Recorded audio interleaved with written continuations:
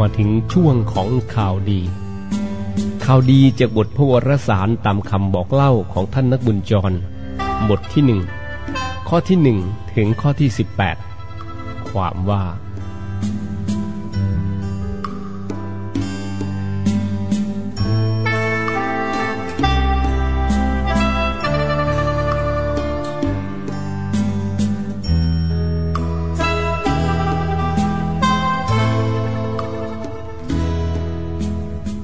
เมื่อแรกเริ่มนั้น พระวจนาตทรงดำรงอยู่แล้ว พระวจนาตประทับอยู่กับพระเจ้า และพระวจนาตทรงเป็นพระเจ้า พระองค์ประทับอยู่กับพระเจ้าแล้วตั้งแต่แรกเริ่ม พระเจ้าทรงสร้างทุกสิ่งอาศัยพระวจนาตไม่มีแม้เพียงสิ่งเดียวที่พระเจ้าทรงสร้างโดยไม่อาศัยพระวจนาตชีวิตอยู่ในพระองค์ และชีวิตเป็นแสงสว่างสำหรับมนุษย์ แสงสว่างส่องในความมืด และความมืดไม่สามารถกลืนแสงสว่างนั้น พระเจ้าทรงส่งชายผู้หนึ่งมา เขาชื่อจอห์นเขามาเป็นพยาน เพื่อเป็นพยานถึงแสงสว่างให้ทุกคนได้เชื่อเพราะฟังเขา เขาไม่ใช่แสงสว่าง แต่เป็นพยานถึงแสงสว่าง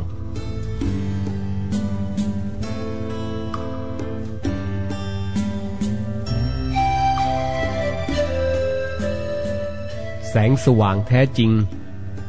ซึ่งส่องสว่างแก่มนุษย์ทุกคนกำลังจะมาสู่โลก พระวจนาตประทับอยู่ในโลก และโลกถูกสร้างโดยอาศัยพระองค์ แต่โลกไม่รู้จักพระองค์ พระองค์เสด็จมาสู่บ้านเมืองของพระองค์ แต่ประชากรของพระองค์ไม่ยอมรับพระองค์ ผู้ใดที่ยอมรับพระองค์ คือผู้ที่เชื่อในพระนามของพระองค์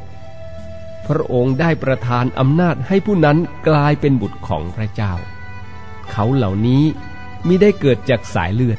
มิได้เกิดจากความปรารถนาตามธรรมชาติมิได้เกิดจากความต้องการของมนุษย์ แต่เกิดจากพระเจ้า พระวจนะทรงรับธรรมชาติมนุษย์และมาประทับอยู่ท่ามกลางเรา เราได้เห็นพระสิริรุ่งโรจน์ของพระองค์ เป็นพระสิริรุ่งโรจน์ที่ทรงมีจากพระบิดาในฐานะพระบุตรเพียงพระองค์เดียว เปี่ยมด้วยพระหันสถานและความจริง จอห์นเป็นพยานถึงพระองค์ และประกาศว่า นี่คือผู้ที่ข้าพเจ้าได้กล่าวถึงว่า ผู้ที่มาภายหลังข้าพเจ้า ได้นำข้าพเจ้าไป เพราะ พระองค์ทรงดำรงอยู่ก่อนข้าพเจ้าจากความไพ่บูรณ์ของพระองค์ เราทุกคนได้รับพระหันสถานต่อเนื่องกัน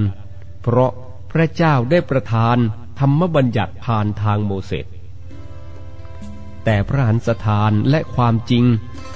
มาทางพระเยซูคริสต์เจ้า ไม่มีใครเคยเห็นพระเจ้าเลย พระบุตรเพียงพระองค์เดียวผู้สถิตอยู่ในพระอุระของพระบิดานั้น ได้ทรงเปิดเผยให้เราทราบ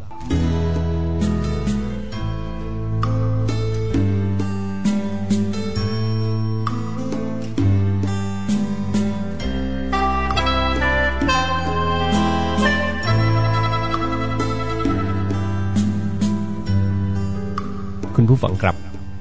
บทพระวรสารตามคำบอกเล่าของท่านนบุญชรวันนี้ ดูเหมือนว่าสิ่งที่พระเจ้า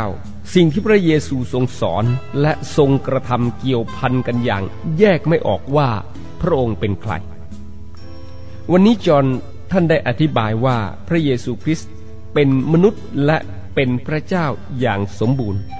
แม้ว่าพระองค์จะทรงรับสภาพมนุษย์อย่างสมบูรณ์ และดำรงชีวิตเหมือนมนุษย์ทั่วๆไปก็ตามที แต่พระองค์ก็ไม่หมดสภาพความเป็นพระเจ้านิรันดร์ผู้ทรงอยู่เป็นนิจผู้ทรงสร้างสรรพสิ่ง และผู้เป็นพลังผูกพันสรรพสิ่งเข้าไว้ด้วยกัน เรียกว่าเป็นแหล่งชีวิตนิรันดรคุณผู้ฟังครับเมื่อ พระเจ้าทรงสร้างสรรพสิ่งบนโลก พระองค์ทรงสร้างสรรพสิ่งจากสภาพว่างเปล่า เพราะเราเป็นสิ่งถูกสร้าง เราจึงไม่มีอะไรอวดอ้างได้ ต้องระลึกไว้ว่าเราดำรงอยู่ได้ เพราะพระเจ้าทรงสร้างเราขึ้นมา และเรามีพระพรพิเศษได้ก็เพราะพระเจ้าทรงประทานให้กับเรา เพราะฉะนั้นเมื่อเรามีพระเจ้าเราก็เป็นคนพิเศษ แต่ถ้าไม่มีพระเจ้าเราก็ไม่มีอะไรเลย ว่างเปล่า เพราะเราไม่สามารถทำอะไรได้สำเร็จตามเป้าหมายที่เรากำหนดไว้ คุณผู้ฟังครับ บทพระวรสารวันนี้จึงเชิญชวนเราว่า จงให้พระคิสตเจ้าทรงสว่างในชีวิตของเรา แล้วเราก็จะไม่ต้องสะดุดล้มในความมืด ขอบพระคุณคุณผู้ฟังครับ วันนี้ตามรอยพระกัมภีร์จากลาคุณผู้ฟังแล้ว